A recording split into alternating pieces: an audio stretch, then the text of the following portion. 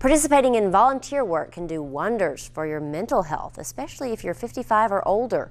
A new report released today by the Corporation for National and Community Service revealed that after two years of service, 84% of volunteers over the age of 55 reported having stable or improved mental health.